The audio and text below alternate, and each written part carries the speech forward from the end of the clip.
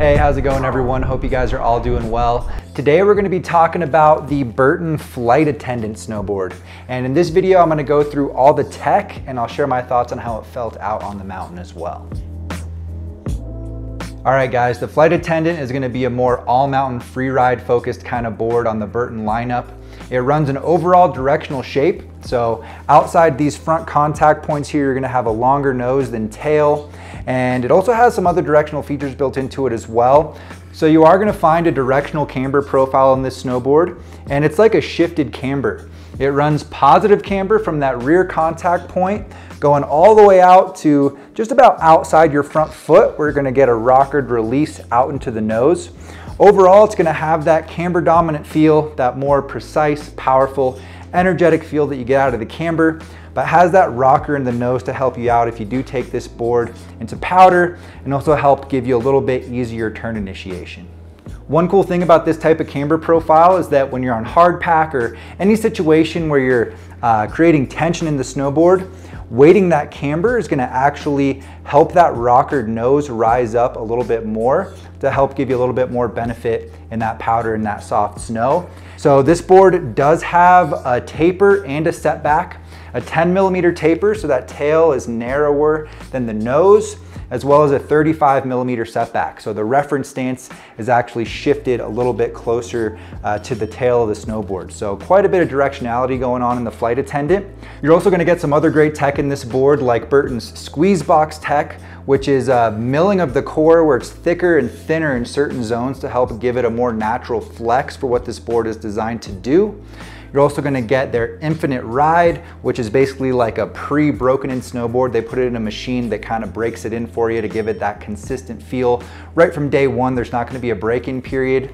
You're obviously also gonna get the channel system on all Burton boards, so you have that uh, fully customizable stance width options. If you run them with the Burton EST bindings, you have a fully customizable stance as well as a really great board flex. That's kind of the idea behind the EST and channel system.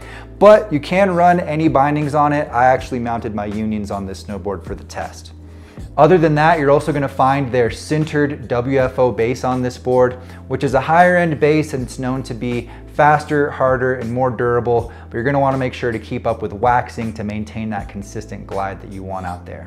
So I started off the test out at one of my favorite tree zones at Keystone. There was about 20 inches of snow built up in there and it's a pretty mellow pitch. So I think that's a pretty good powder test because it's not super high speed. There were some drops in there as well. And I feel like this board held up really well in there. You know, all these directional features coming together, everything from that directional nose, giving you more surface area up the front, the setback shifting your weight naturally further towards the tail, the 10 millimeters of taper as well, just all came through helping this board stay on top of that softer snow and also gave some nice maneuverability going through the trees.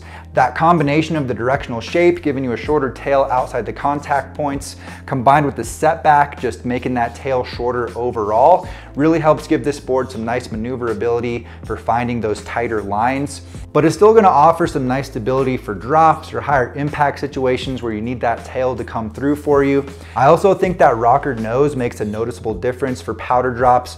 Just doesn't make you work as hard out there. Once you land, the board just kind of naturally wants to swoop back up on top of the powder without making you work too hard for it.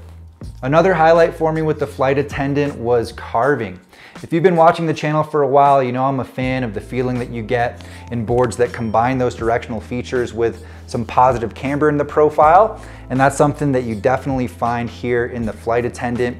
I felt a nice smooth transition from edge to edge. And once you did have that board on edge, it had a really locked in precise feel to it. This is the type of board that you can carve pretty fast on. You can get it up to speed confidently. You're not gonna get a bunch of chatter in it. It's gonna have a nice, stable, in control feel for you.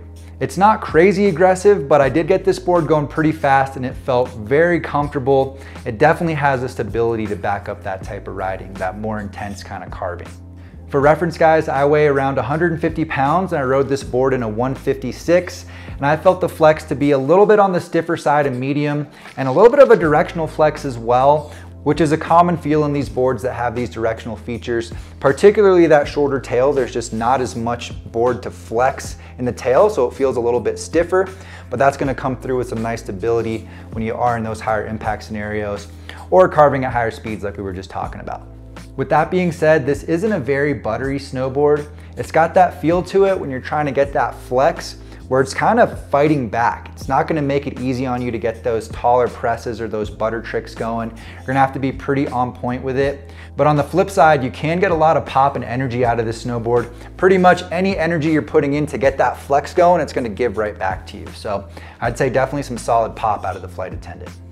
I did take this board through a couple park laps out at A51, and I'd say it is a little bit more jump leaning when it comes to actually riding in the terrain park. Can absolutely still hit rails with it, but it's a little bit stiff the kind of board where if you get out over the nose or tail, it's gonna hang on really well. It's not gonna flex out on you.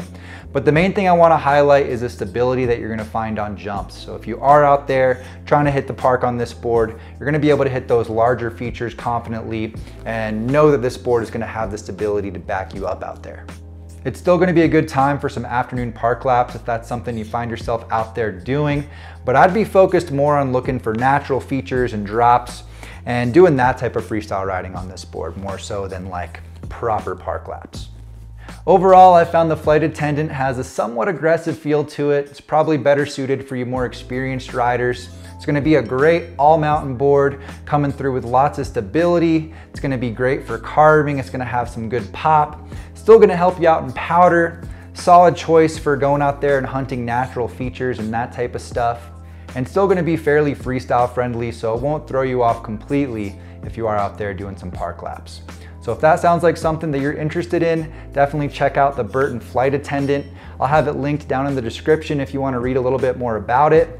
Let me know if you've had a chance to ride this board or if you feel like I left anything out. You can leave any questions for me down in the comments. Make sure to drop a like if you got some value out of this video and make sure to subscribe for more snowboard reviews and snowboard videos coming soon.